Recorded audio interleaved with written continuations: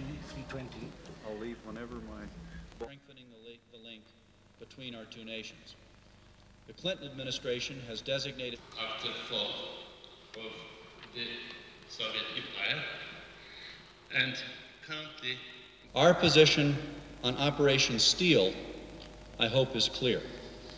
The United States understands Turkey's need to deal firmly with the PKK, which is a vicious terrorist organization. At the same time, we attach great importance to the assurances of the Turkish government that the operation will be limited in scope and in duration. We regard the recent withdrawal of 3,000 troops as a positive first step.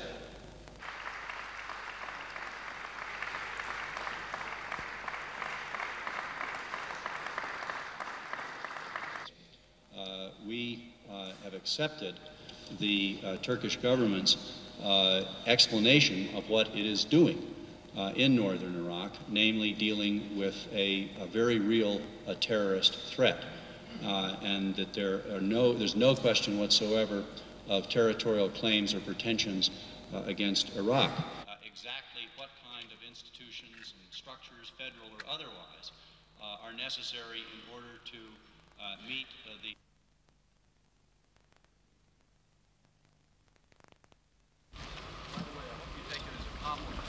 that I mistook you for a student, and we'll have a press conference tomorrow. Excuse me.